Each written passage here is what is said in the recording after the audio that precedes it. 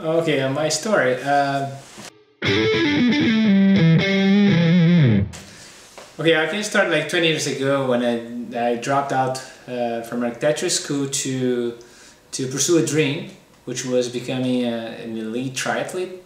And then, I, as most people would do, I, I, I looked for coaches, and then I switched coaches, and then I trained hours a day, several days a week for years.